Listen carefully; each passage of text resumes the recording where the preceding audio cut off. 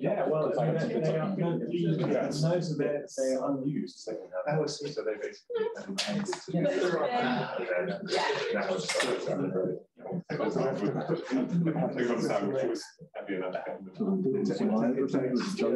Yeah, that's, Yeah, so that's. They. I find it. First one. No, it's like- Well, I would hate watching it. The hybrid ones are really difficult. Yeah. And, uh, people like, like we just took teaching Really cool, like. trying to figure out after COVID, are we going to maintain some sort of Yeah. hybrid thing? No, so they're- they're just they're checking the work basically. And yet for these kind of things, it's great. Great, yeah, yeah. Good. And it's like. So, uh, yeah, uh, hi everyone. Uh, I'm really pleased uh, to introduce uh, Kevin Mitchell, uh, who's Associate Professor of Genetics and Neuroscience at uh, Trinity College, uh, author of Innate. I'll give it a plug. Kevin will give it a plug as well. I'm sure. Uh, um, uh, and he's going to talk to us about neurodevelop- the neurodevelopmental part of neurodevelopmental disorders and taking them seriously. Kevin. Great. Thanks so much, George, and um, thanks for the invitation, and thanks to all of you here and everyone joining online as well. So, um, yeah, what I want to do is talk about neurodevelopmental disorders, but really emphasize the neurodevelopmental part and ask what does that mean? What are the implications for um, the work we do in either in research or in the clinic for the fact, you know, from the fact that these things really have an origin in neural development. Um, so first I want to ask, well, what is it that makes a disorder neurodevelopmental? And really, clinically speaking, it's just defined like this, a group of conditions with onset in the developmental period. So that's the main um, criterion. And they, they induce some deficits that produce impairments of functioning. So that, that last bit just means it, that's why it's a disorder, right? Because it has an impairment of functioning. That's why it's not just treated as a difference. Clinically, it's important somehow. Um, but the, the main criterion is just the, the time of onset. So um, what we don't know really just from that is whether that implies that the, the deficits that you see are due to altered neural development itself or just altered functioning that happens to manifest at an early stage. And that's really potentially an important distinction for thinking about therapeutic interventions later on. Um, and there's a, so there's a big list in, in DSM-5 of things that are called neurodevelopmental disorders, and they, they include things like intellectual disability and autism and ADHD and these other um, conditions uh, here. And I would add these kinds of conditions as well, cerebral palsy and epileptic and encephalopathies and cortical malformations and um, what you know more traditionally neurological as opposed to psychiatric conditions. But I, I think that separation is probably fairly arbitrary. Um, and then there's a bunch of rare syndromes, of course, that, that like Down syndrome and Rett syndrome and Fragile X and so on that are included in this, um, in this group. And one of the interesting things to point out is that pretty consistently, males are more uh, affected by these, or at least diagnosed more frequently than females are, which is a point that I'm going to come back to later on. Now, those, are, those really are um, early onset disorders, but there are later onset disorders that may also have a neurodevelopmental origin. And in fact, people think, uh, at least for schizophrenia, that that's true. Obviously, for Alzheimer's disease and Parkinson's disease, things that are really neurodegenerative, that's probably not true. But for major um, sort of categories of psychiatric illness, there may be a neurodevelopmental origin, which just manifests later on in life. So one of the things I want to do is ask whether that's right. Is there really support for that? Um, and if we think about the neurodevelopmental hypothesis of schizophrenia in particular, which is where it's really well developed, there's a number of reasons uh, that people have taken as, as lines of evidence in support of that idea. One is that there are prenatal or neonatal risk factors that have been described. Um, one of them is maternal infection, although I would say now that the initial studies that, that showed a, a risk for that, which were fairly small studies with hundreds of people, have been superseded uh, by very large cohort studies in you know, Denmark and Sweden, which basically show no increased risk for schizophrenia, although there may be a small increased risk for autism with maternal infection. Uh, but there are some other um, sort of epidemiological factors that uh, are associated with slightly increased risk of schizophrenia, and it's not really known why that is. There are also some early premorbid signs, so just low birth weight, but that's pretty non-specific. Um, there are social and motor abnormalities seen as early as two years, and mostly those are in, in retrospective sort of studies after someone gets diagnosed with schizophrenia or in, in, in large groups of people. Um, so it's a little hard to know um, how to take those, but it does suggest maybe there's, there's a, a lifelong trajectory at play. Um, there's an interesting finding with ADHD diagnosis that it ADHD diagnosis during childhood has about a fivefold increased risk of schizophrenia later on, which is pretty stark. Um, suggesting, well, either two possibilities. Either, again, that's a trajectory, that you're on, which is just manifesting in different ways, or having ADHD as a discrete thing is a risk factor for developing schizophrenia as another discrete thing, which I find less likely.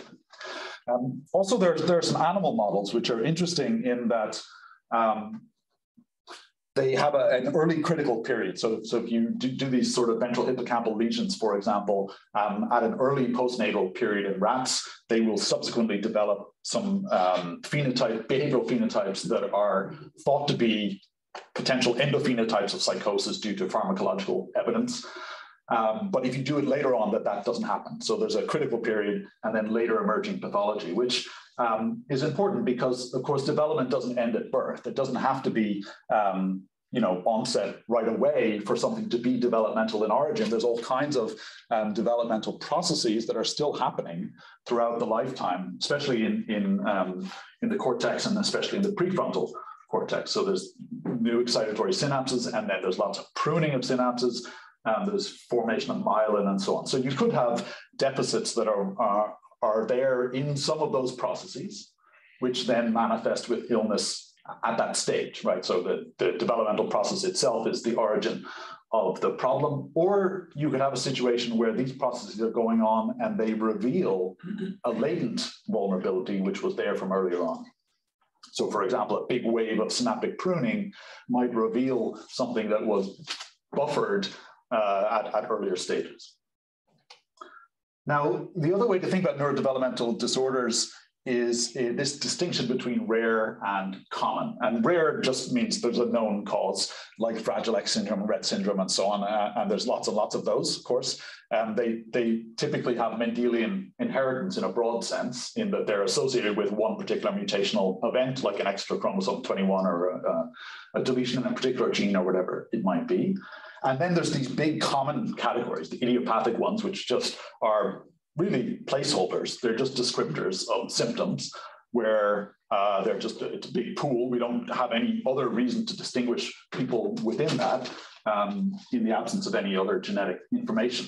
And those are thought to show what's called complex inheritance. So um, from twin and family studies, just looking at those diagnostic labels, they're extremely heritable, especially um, autism, schizophrenia, um, you know, 80 to 90% heritable, which means obviously a huge proportion of the variance in who gets the condition is due to genetic differences.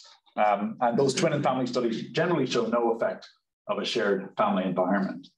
And the other thing that's important, um, which will be a theme really uh, across the rest of this talk, is that the risk extends across disorders. So if you have a first degree relative with schizophrenia, you can see on the right hand side there, your, your um, risk of having schizophrenia yourself is about tenfold what it would be otherwise.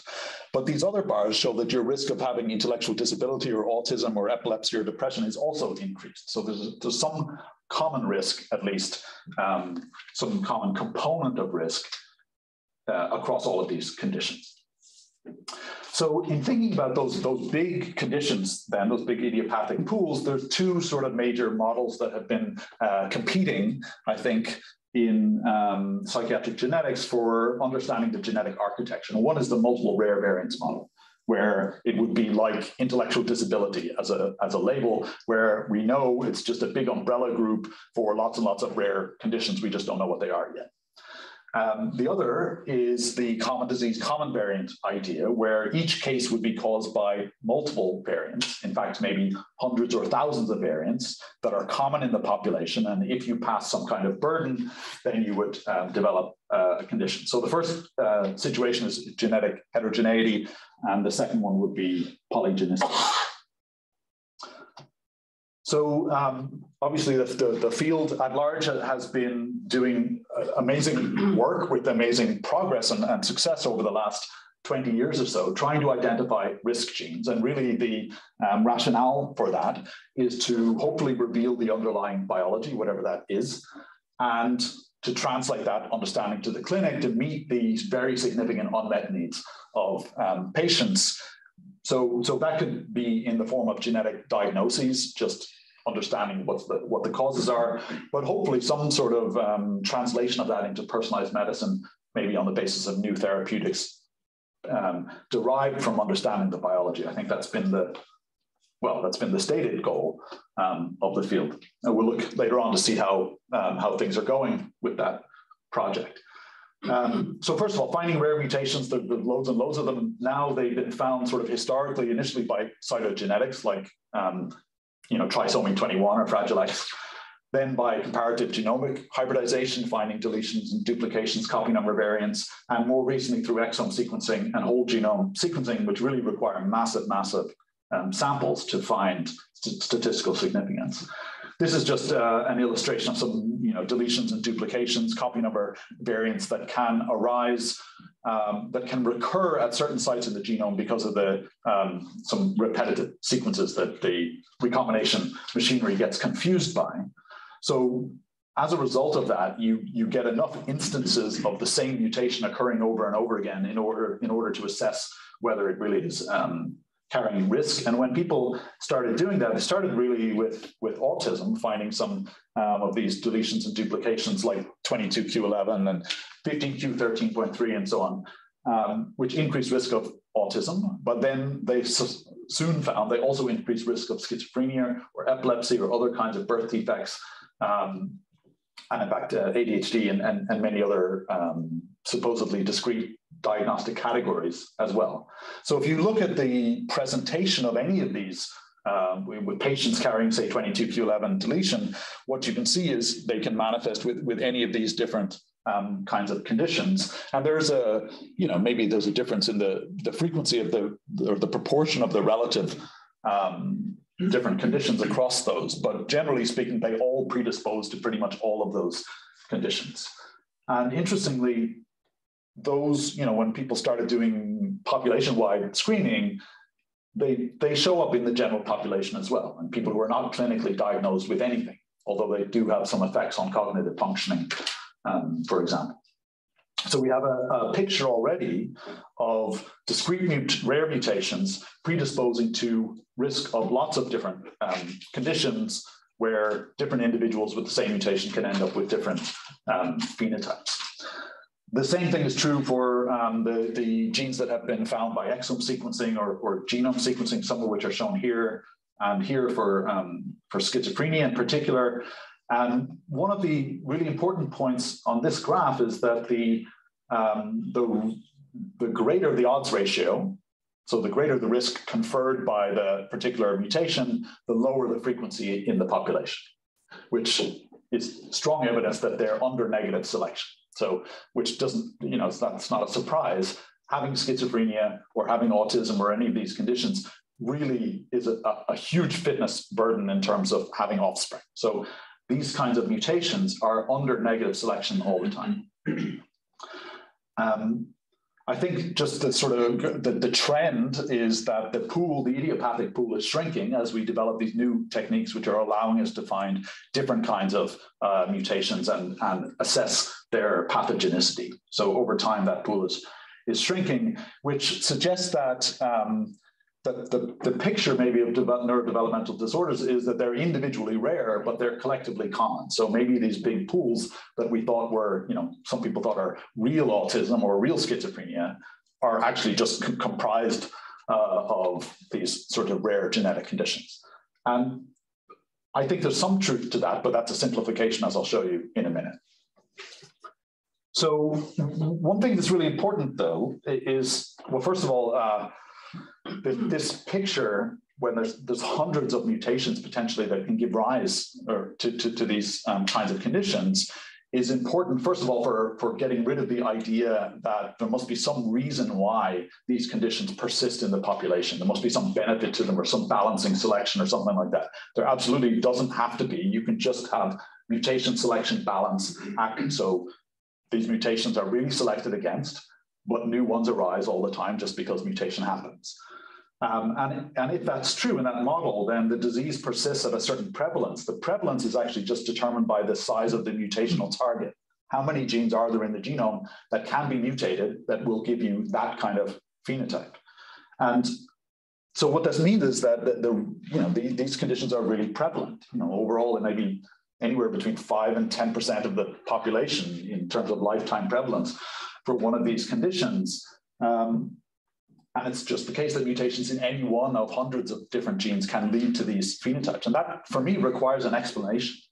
Right? It's not, why, why would it be that mutations in these genes that encode proteins that do all kinds of diverse things can lead to these particular manifestations that we see as, as these, you know, named categories of, of psychiatric um, illness and, and, is there some kind of common mediating phenotype? And of course, the hope in the genetics is to tell you that.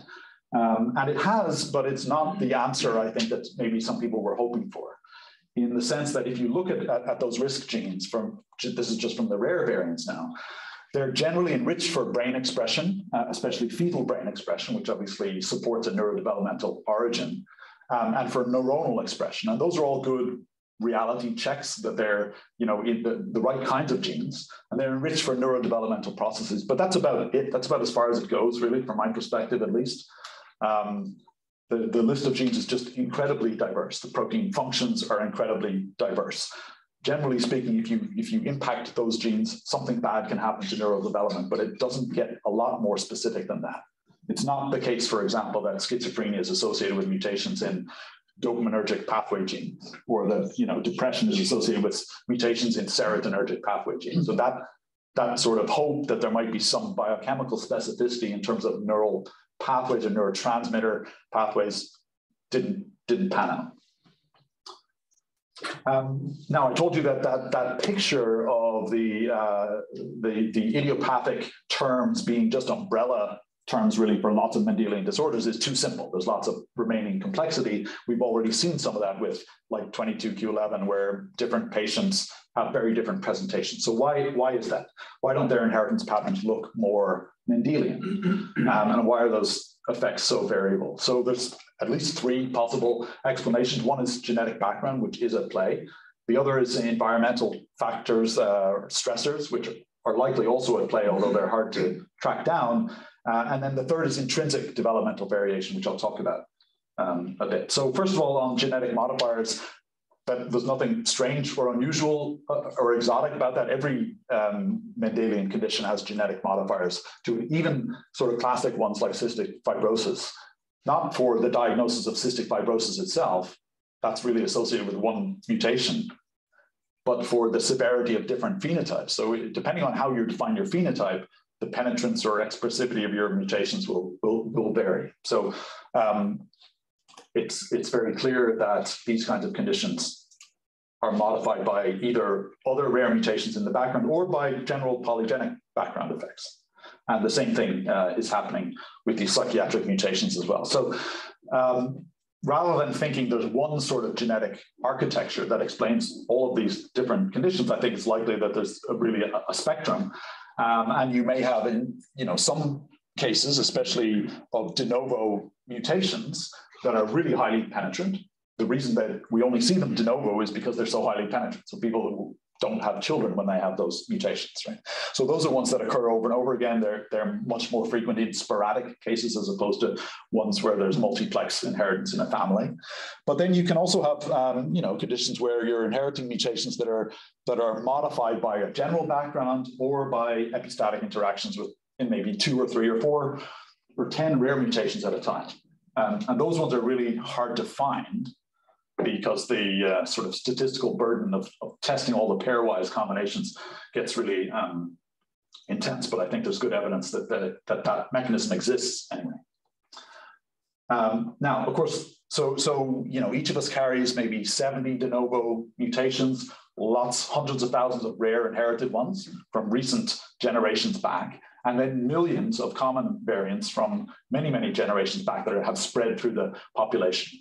Now, the reason they spread through the population is because they're almost neutral. Uh, they have tiny, tiny individual effects. So natural selection can't do much about them. Um, if they have big effects, they get selected against, but they can still uh, um, increase risk and especially can do that collectively. And of course, that's what genome-wide association studies have been looking for, and they've been very successful for um, schizophrenia. Autism is kind of catching up in terms of, of sample sizes and, and, and hits. Um, this was from about 2014, where the overall polygenic score, if you tot up all of these um, alleles, explained about 7% of the variance on the liability scale for this, um, for this condition. It's, it's about 10% now, maybe, I think.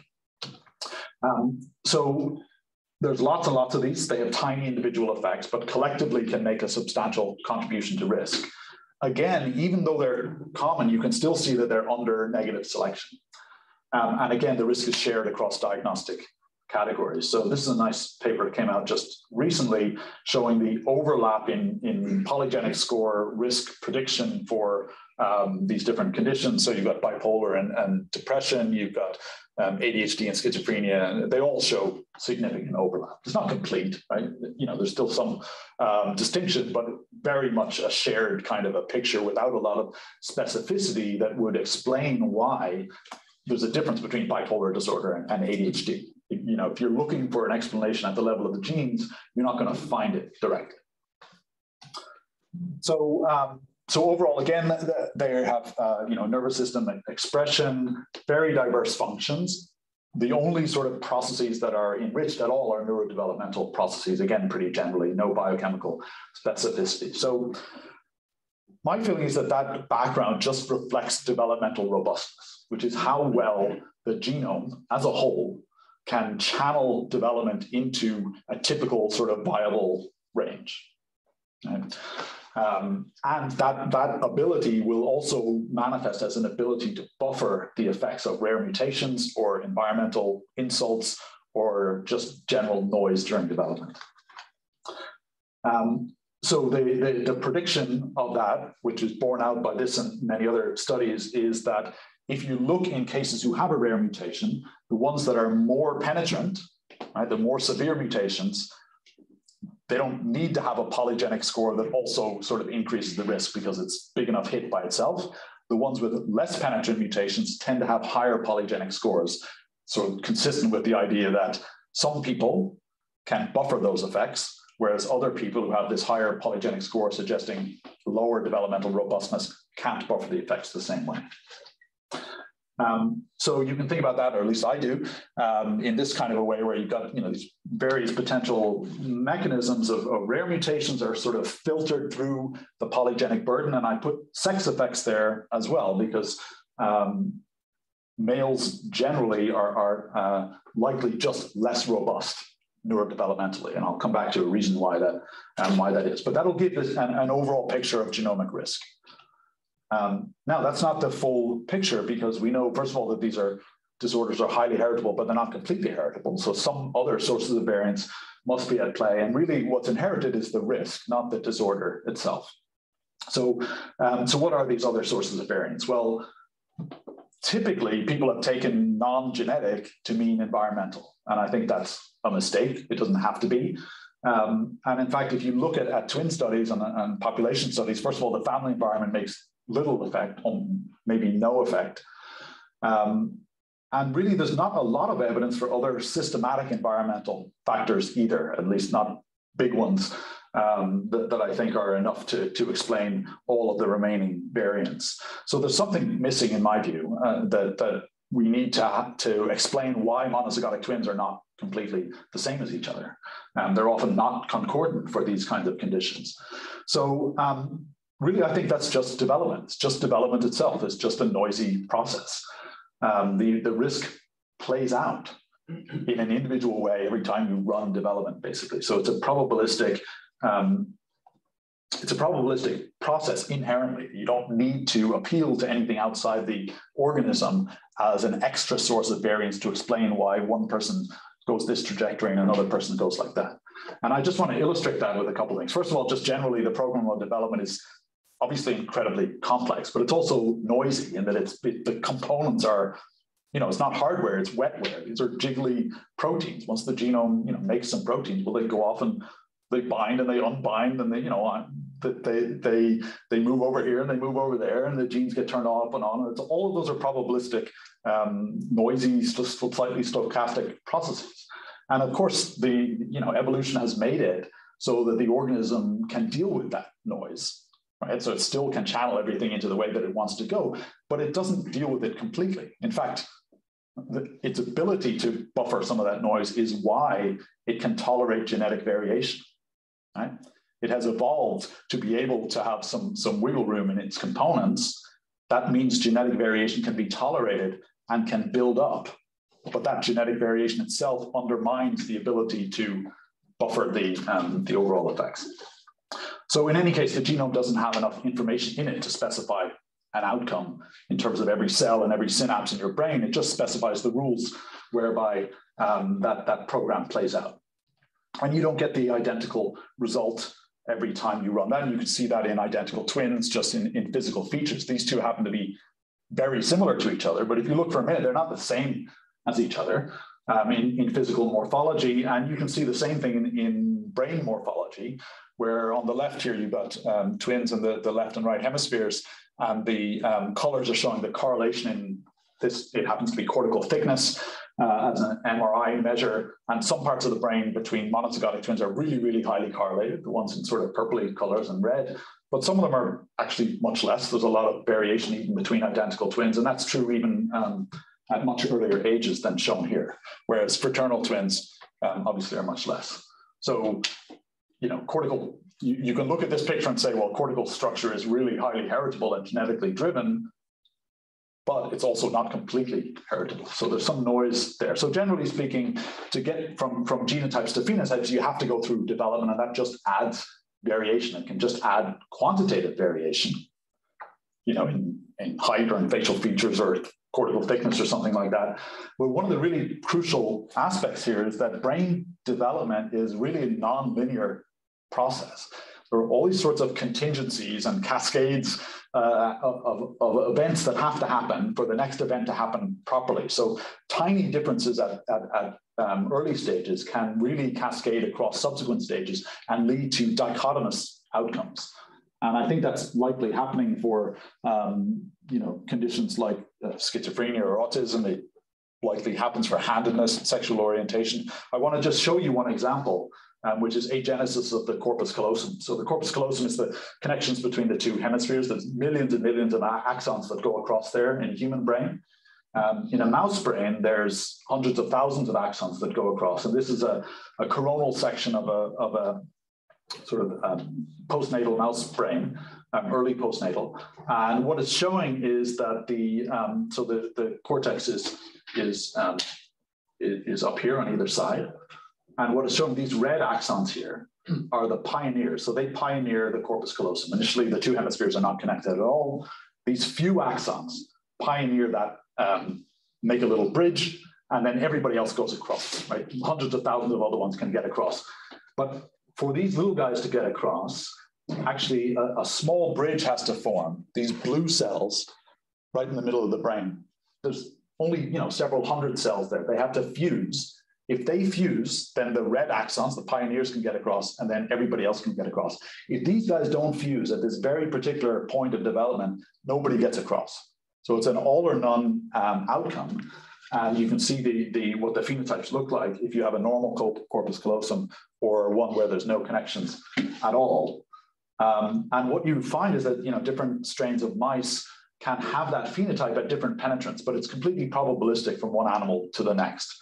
So you can have, um, you know, it might be 70%, 30%. Um, and if you breed the ones that have a corpus callosum, their offspring, it's still 70%, 30%. It doesn't matter. What's it, what's inherited is, is the risk, and it just plays out in the individual. And you can see the same thing in humans. These are triplets um, one of whom has a normal corpus callosum, and the other two are completely missing the corpus callosum.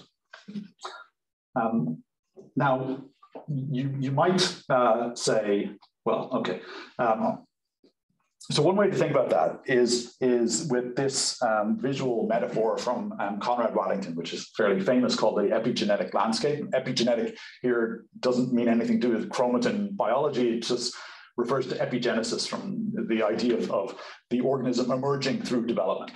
Um, so he, he thought of this as a way to think about how different cell types get specified during, uh, during embryogenesis, but I, I, like to think of it as a way just to think about the way development goes for the whole organism.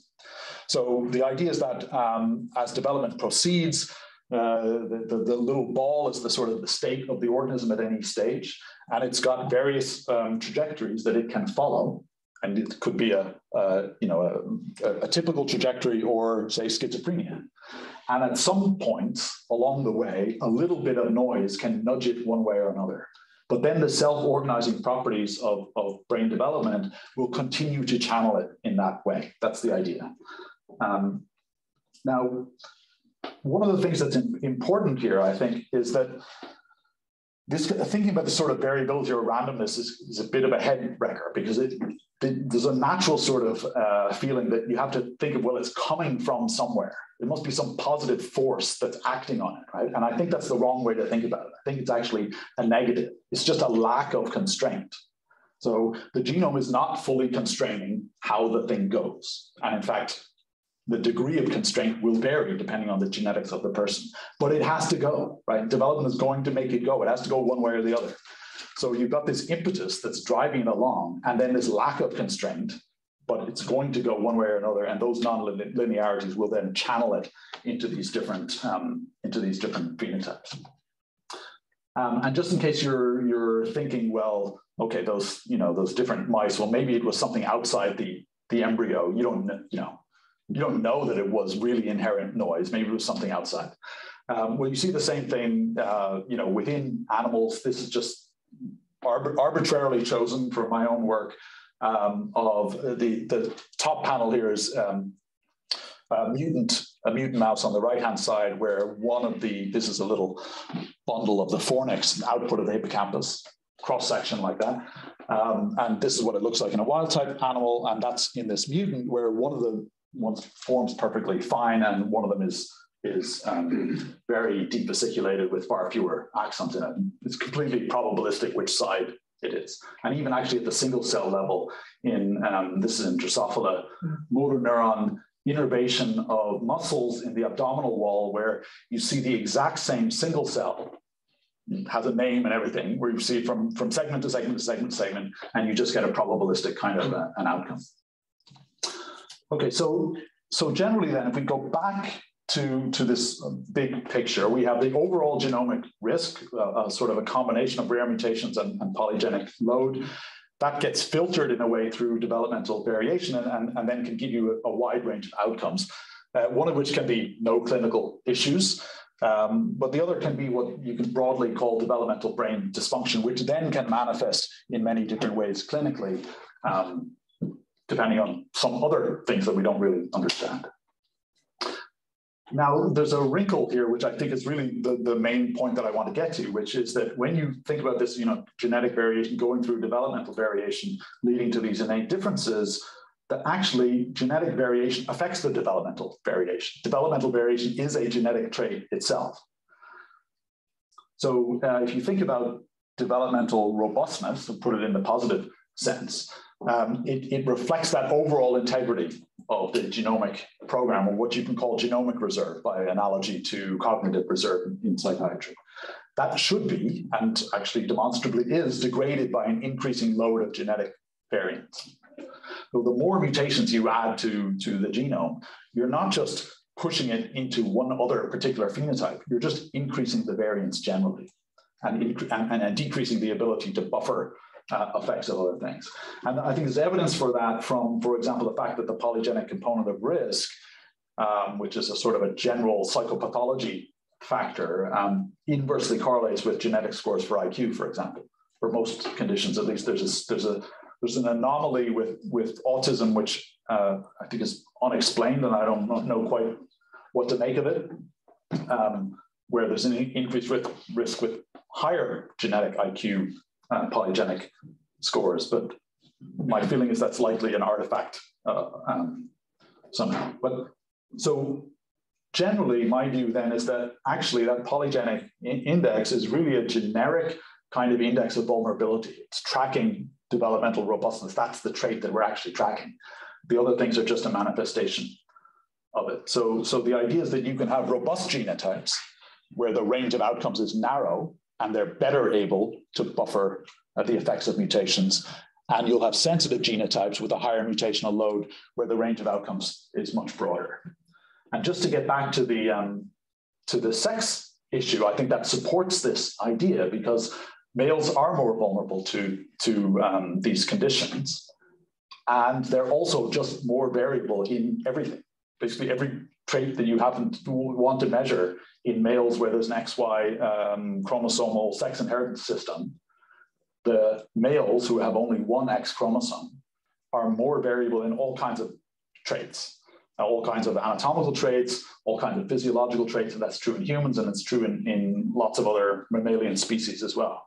And interestingly, if you look at birds, which have the opposite um, inheritance system, where the females are the ones with two different sex chromosomes, a Z and a W chromosome, they're the ones that show greater variability in that instance. So the idea is that, that having only one X chromosome just exposes you to all of the genetic variation on that chromosome and thereby decreases this developmental robustness generally.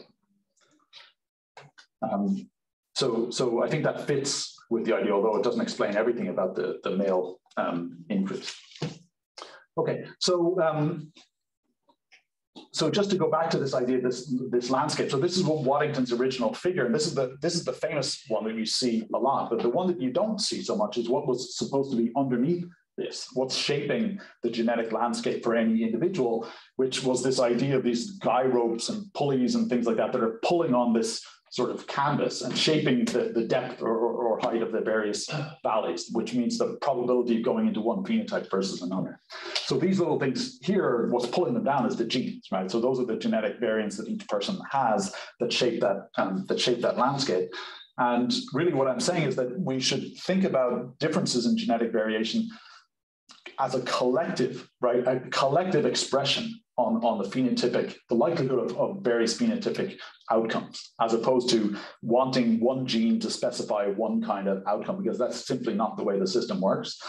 Um, and, and as well as thinking just about, you know, decreasing the likelihood of one and, and increasing the likelihood of another, we also can think of just flattening, just flattening out the, the landscape and, and thereby increasing the variance that you see.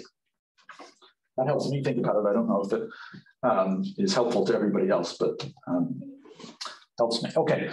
Um, now we didn't. We answered one of these questions, kind of. The top question here: Why do mutations in the same gene lead to diverse phenotypes? Well, we have, you know, genetic variant variation in the background. We have developmental variation, which is just inescapable. But this other question, the flip side of that, why do mutations in so many different genes lead to similar phenotypes? We haven't really answered. And I think we have to look to development for the answer to that as well. And, and really, you can ask, why do we see those phenotypes and not other ones? Because there's a sort of an arbitrariness to the nature of psychiatric disorders, right? I mean, we see certain things, and of course, we focus on what we do see, but there's an immense possible space of ways that the mind could go awry that we don't see, and we don't notice that, but it's huge, right? So there, we need an explanation for why we see some particular things, and also why they're some of the aspects of them are qualitatively novel. Right? They're not just a decrement in in function. New novel psychological states emerge. Um, I think that requires explanation too, and the explanation is probably not in the genes themselves that are that are the risk factors here. So, for example, psychosis as an emergent uh, qualitatively novel state can be associated with all kinds of things in both in in, um, in humans and actually in animals as well. So uh, infection with syphilis or malaria or HIV, for example, all kinds of drugs affecting dopaminergic pathways, serotonergic, glutamatergic, um, cannabinoids, and so on. Loads of genetic insults, hundreds of rare variants, and so on. So really there's nothing specific in the genes that is linked to this outcome in any sort of sensible, direct, proximal way. It's an emergent kind of phenotype. It's a property of the brain. It's a property of the perturbed brain, not the perturbations. And that's different from the logic that we bring to a lot of genetic um, approaches for other kinds of diseases. So in this case, I think we have genetic origins, but we have neural mechanisms that are emergent through the processes of development, where the functions of the encoded gene products really don't relate proximally or synchronously to the phenotypes that you see, the symptoms that we see in, in, in patients. For the most part, there are some exceptions. So typically the logic of genetic analysis is that if we understand um, the relation of genotypes to phenotypes, that is mutant variants to phenotypic outcomes, there will be some kind of corresponding logic to what the gene does and the functions of the gene products. And, and let me give you an example with microcephaly. So microcephaly is caused by a smaller uh, head, characterized by a smaller head, which is caused by a smaller brain, um, which is due to uh, alterations in neuronal proliferation in the cerebral cortex. The genes that have been found, at least many of them, are directly involved in controlling neuronal proliferation in the cerebral cortex, right? You've got a really concrete anatomical phenotype that's quite specific, and you've got the genes that you find are doing that job, right? They're really involved, the proteins they make are really involved in the process that you're that you're looking at, that you see a perturbation in. Now, that's not the case for psychiatric conditions because the processes we're looking at are the highest levels of cognition and, and perception and sense of self and language, um, really the, the, the most sort of emergent functions of the mind, not just um, you know, particular aspects of, of neural function. So I like to use this uh, analogy where if you had, say, a complicated system like a fighter jet, and you were looking for defects that cause a defect in turbine function. Well, if you randomly look for defects, the ones that you would find would be these ones, right? Bits of the turbine would be the ones that cause a defect in turbine function. And that would be like looking for a microcephaly. But if you look for defects in performance, well, you're going to find everything, right? Anything in there is going to affect the performance of the plane. It's an emergent property of the whole system, all the components and the way that they interact with each other in a way that that just defies any kind of direct um, logic in, in um, or, or relationship between individual bits and the outcome. So there aren't genes, I think, for autism or for schizophrenia. That's not the nature of the relationship between genetics um, and these phenotypes. And they're not even genes for the cognitive processes that are affected in those um, conditions, I think. They're genes for neural development or function or plasticity um, that affect those processes. And, and we can think about the pathological states, states like, like mania or psychosis or depression, as emergent properties. And this is a, a term that I use advisedly called failure modes, which is not supposed to be judgmental. It's an engineering term, which refers to the idea that any complex system, especially dynamical systems, will have some sort of operating regimes that it's been designed for in uh, in, in artificial systems or that it's been selected for in biological systems.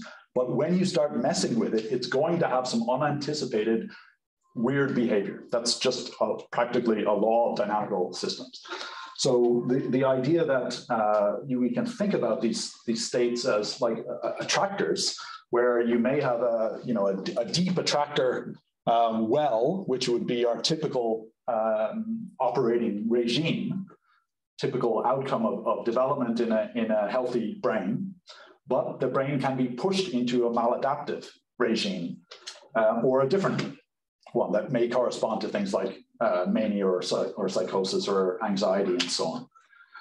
Um, and at that, at that stage, this is nothing to do with the genes that lead to the vulnerability to be pushed into those things, which is really frustrating because it means that the, you know, the goal of genetics to get at the biology at that level um, is, is obviously more difficult. So just to sum up then, um, and, and, I mean, this is my, my view, my overview.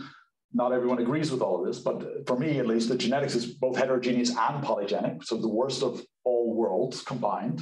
Um, there aren't really clear processes or pathways that are very specific. What really emerges is neurodevelopment generally. Um, so it may be that the genetics of neurodevelopmental disorder risk just is the genetics of developmental robustness, at least to some degree, maybe not completely. The, excuse me, the pathology is not closely linked to the genetic um, etiology, and, and, it may be better to think of those conditions and the symptoms as emergent phenotypes. So if we go back to these goals of, of genetics, well, we have identified risk genes, lots and lots of them. It's kind of revealed the underlying biology, but it, it has revealed it to be not very specific, I would say. Um, and so in translating that understanding to the clinic, well, it hasn't really happened very much, um, except in the sense that, you know, genetic diagnosis for rare conditions have some implications for management. They haven't really translated to, you know, personalized medicine kind of thing, this model that came from, you know, cancer biology, say, where cancers are really proximal molecular defect, cellular defect. The genes that predispose to that are the things that are doing causing that defect. And once you find these, you may have, you know, druggable targets that, that you can build on. I, I don't think that's going to be the case for psychiatric conditions, even though it was the hope. Um, and some people still, I think, push that push that line, but the phenotypes are, are not um, directly due to proximal molecular functions, in my view. And in fact, they're, they're probably due to impaired gene function during development, maybe not even anymore to requirements for the gene novel. maybe, maybe not. Um, so, you know, for a lot of these things, you won't treat the altered outcome of development by tweaking the, the gene itself again or the genes or some pathway after the fact. I think what we'll have to do is realize that actually in these for these conditions, genetics has us, uh, you know, gives us information about the etiology, but it doesn't give us information about, about the pathology. The pathology is emergent through pathogenic mechanisms that go across different levels, and we'll have to combine work across all of those levels and many different fields to really make progress, uh, in my view. And, and development is the is the line that links all of these um, things. So I, I mean, actually, I'm really optimistic about this. I know I sound pessimistic, like this is impossible. I, I don't think it's impossible. I just think it's going to take a different approach than this sort of hopeful idea that genetics would just get us there all by itself. I think it's going to take a picture kind of like this. Now, what I do think is that genetics will really help us do the neuroscience and help us do the cellular work and the systems level work because it will give us entities, these, uh, you know, people with the same mutation where we can model them in mice and we know what we're dealing with, not, not these big nebulous sort of diag diagnostic um, clouds where that, that really hid loads of heterogeneity. So the genetics can really help us, I think, but we'll still have to do all of these um, other other work to to get to a point where it pays off. I think in, in terms of um, new new treatments. And I will leave it there. And as George said, I will plug that just because I can. Thanks very much for your attention.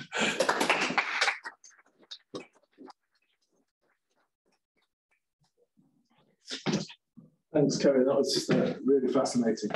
Uh, I'll stop sharing so we can look at so we oh, okay. done, done like that. I take questions in the uh, Q and A, and uh, so oh, so we'll read the first question on, uh, online. Uh, is from Ezra Susser. Hi, Ezra. Shame you're not here. Uh, great talk, and see it overall the same way, but don't understand why dismiss environmental contributions. So, so strong evidence that environment causes matter and the environmental interventions can reduce risk of NDDs, e.g. iodine, folic acid, etc. Yeah, um, well, that's a perfectly fair point, and I, yeah, I should. I mean, I, I shouldn't dismiss them altogether because things, certain things like folic acid and iodine, and and you know, ones of direct maternal nutrition, uh, we clearly see there is uh, an effect. The question, I guess, is whether um, you know those make up major sort of systematic sources of variance across the population as opposed to more isolated um, more isolated conditions. And i guess it's arguable uh, to the, the extent to which they do. I mean so, so away until that which I'm sure I sort of go on to who's here, uh, is that if you, see, if you see things that differ hugely across time and space, like neural neural tube defects differ yeah, yeah. hugely across time and space, there must be something environmental uh, under, underlying it, and the genetics can then point you to the environment, as MTHFR points us to the folate for neural tube defects.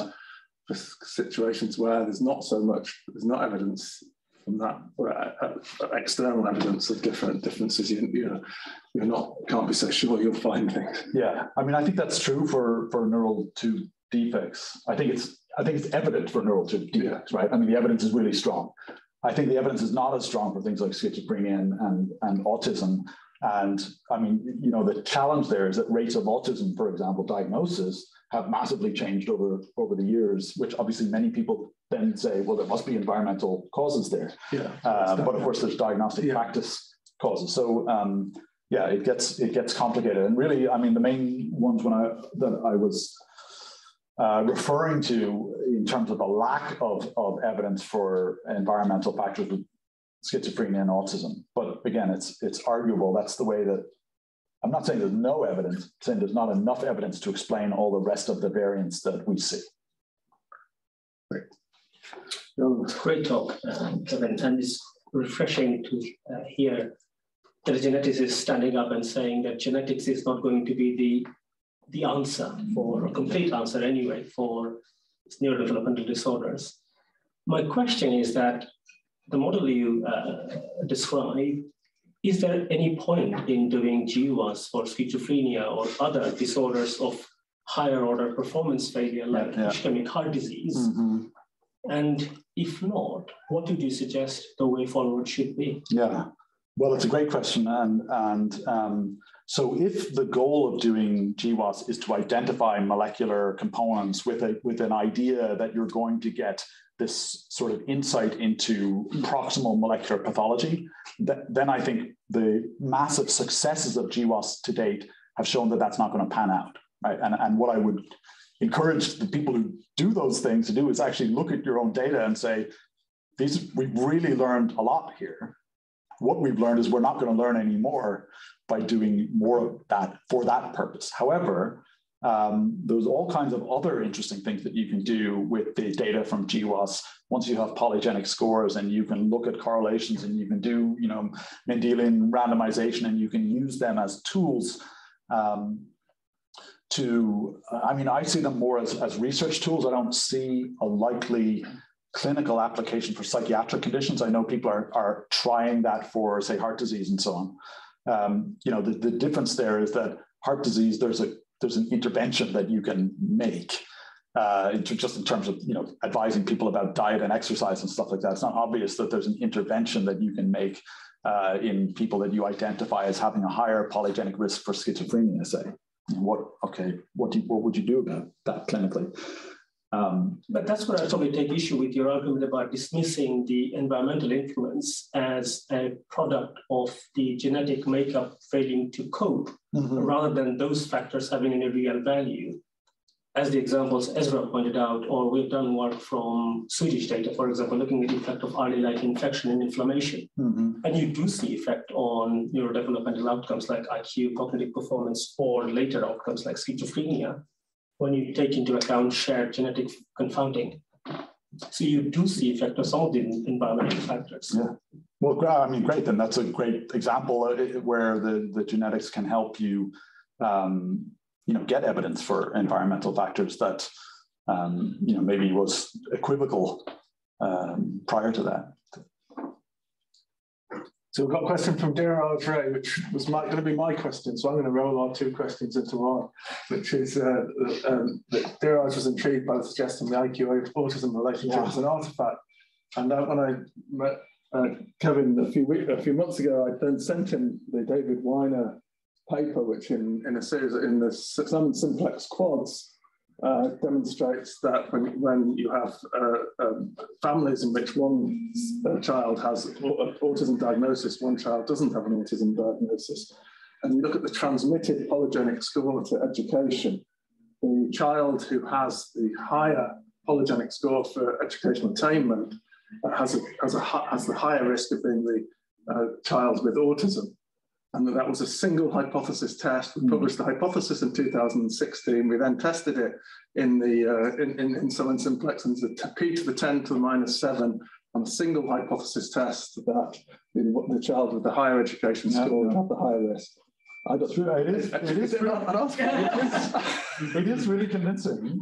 Um, and yet I just I, I just still don't know what to make of it. You know, it just um, because uh, well, I mean, I, Can I ask? I mean, it's not that I'm not it's were- not that I'm not these convinced by profoundly those. autistic kids, or were the kids uh, It's, it's. Do we some- know about the IQ of the kids with autism? Yeah, they're not, not, um, they have reduced, uh, they have, yeah, the kids with autism have reduced IQ, yeah. In that Yeah, study? In that study, yeah, Um, yeah, I mean, it, they, they were recruited, uh, um, uh, Esma knows more than I do of it, but they were, they were recruited, um, uh, before the, the, the really, you know, they were recruited uh, quite a while ago. Yeah. Uh, and, yeah, would, uh, would fulfill classic, um, diagnostic criteria.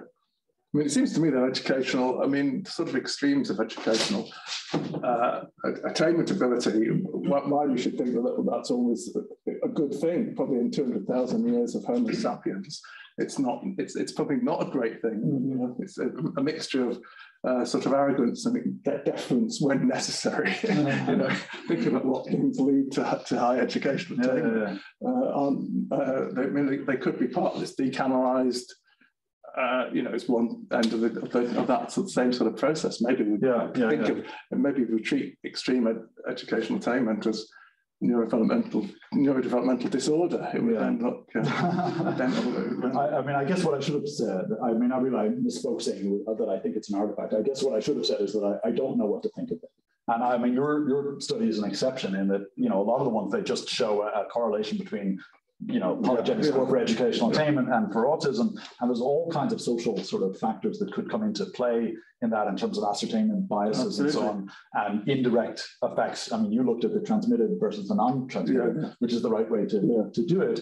Um, but even with that, I still I still just don't know what to make of it because it, it sort of conflicts with the idea that polygenic risk for autism and schizophrenia is really overlapping, and for schizophrenia and for low IQ is really overlapping, and yet for autism it goes the opposite direction and it doesn't seem to. I mean, maybe that just dissociates, uh, you know, along the spectrum there. But I still just don't know what to make of it. So I'm just sort of keeping my powder dry on that, and I'm like it's sort of provisional and when I know what to make of it, I'll, I'll Let us know. yes, well, there are still here. Yeah. So a question from Jack Meller. It sounds like you would argue the way forward is to identify convergent pathophysiological processes from multiple risk genes. Is that a reasonable summary? If so, what's what's your best bet? Yeah, um, that is a reasonable summary. I mean, that's the sort of um, picture, right? Is that you have mu- multiple different mutations can lead to the same same outcomes, uh, and yet single mutations can lead to diverse outcomes. So the the way to view that for me is to see these channels uh, going, you know, one way or, or the other, and then the question is, well, why? You know, why do they go this way versus that way? And when, you know, is it possible to follow? say high risk mutations, either in, in humans or I think probably more profitably in animal models, um, to, to get through the, the processes of, of emergent pathogenicity um, and eventual pathophysiology. And I guess my hope is that at, at least at the end point, those patho, pathophysiological states, um, that the systems neuroscience methods that we have now in animals which are, are just vastly better than they were even 10 years ago. And there's sort of the, the idea of looking at, at, you know, being able to record populations of neurons in awake behaving animals and, and correlate them with behavioral states. For me, that, that's where I, I have a lot of hope that that kind of neuroscience will help us understand, uh, it can be translated more directly to the kinds of data that we can get in humans.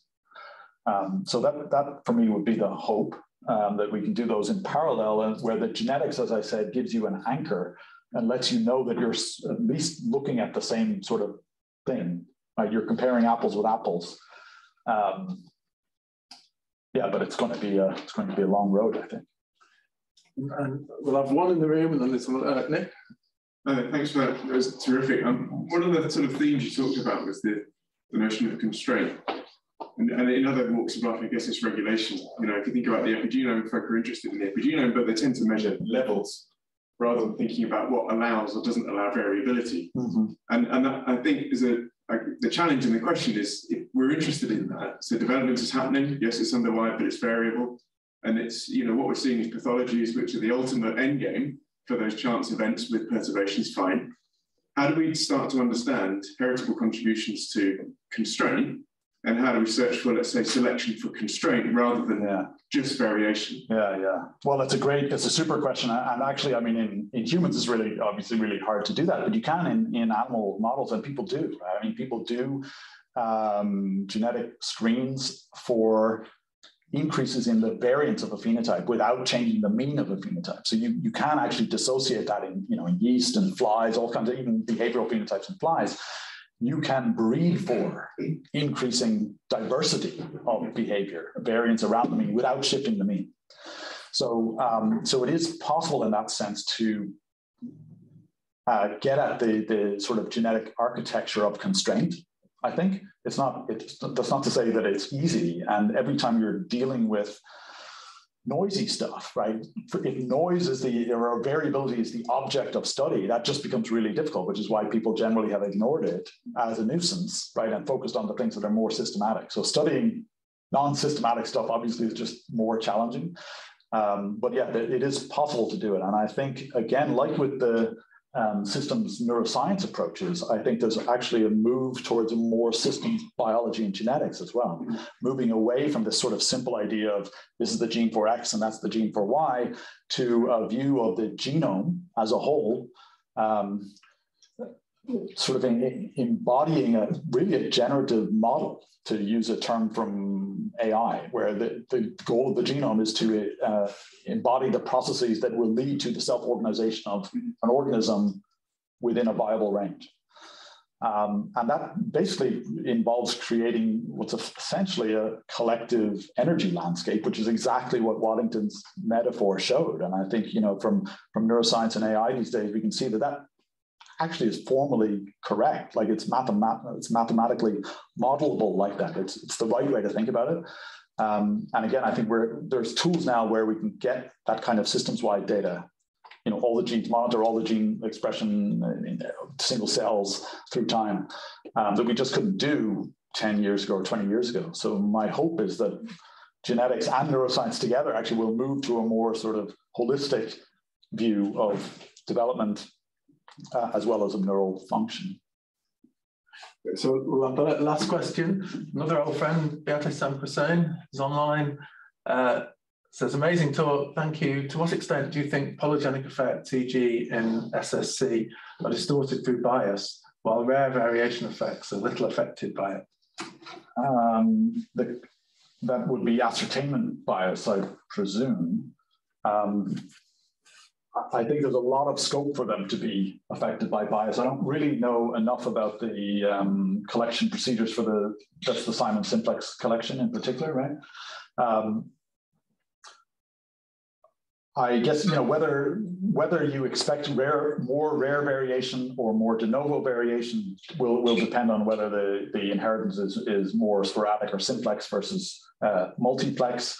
Um, whether you know the, the polygenic variation, I think, may absolutely vary if it's tracking parents' educational levels and, and is affecting recruitment into the study. But I don't know the details within that particular study of the design that led to it. But it's a it's a challenge. It's one of the it's one of the reasons why I'm but then I'm they, confused, I guess, by the, the educational attainment. Because because the, between um, siblings is, is, yeah, yeah. is, is, men, is meiosis sure. plus uh, fertilization. Absolutely. So it's um, so unless there's, yeah, unless there's some um, bizarre uh, transmission ratio distortion. Yeah. But I think which, is, question... which, which, is which is possible, and um, and MoBa will be able to look at. It's, it's you know because it, it is true randomized data. Oh yeah, no, that it is. I took this question yeah. to be more yeah. general about the yeah. uh, about the cohort, and I think you know any cohort like the UK Biobank has its, yeah. own, oh, its own biases. Uh, they all do. So. Yeah. So oh, okay, this is definitely the last question. Oh, sorry, yeah, no, no. Um, your penultimate slide and what you were saying a bit more about neurology suggests that you might expect to see more um, systematic relationships if you looked at uh, measures of neurology rather than genes, yeah. phenotypes. But that's yeah. not true, is it? I mean, not well, uh, not at the level that people have looked, right? I mean, so you know, not with fMRI or not with structural MRI, and not really with EEG. You know, I mean, people have tried to Indeed. to look for correlates of autism, right? Yeah. Uh, but maybe what they should be looking at is correlates of symptom dimensions. Well, Although even even with that, that hasn't really panned out no. so well. So there's there's a couple ways to think about that. One is that that these are uh, you know you you can have high anxiety or you can have depression or mania for lots of different brain reasons, right? Uh, and that's perfectly viable hypothesis. The other is that we just haven't, you know, the tools that we've been using are just too crude, mm. and we haven't looked at it in terms of the system. You know, the we haven't analyzed them as dynamical systems.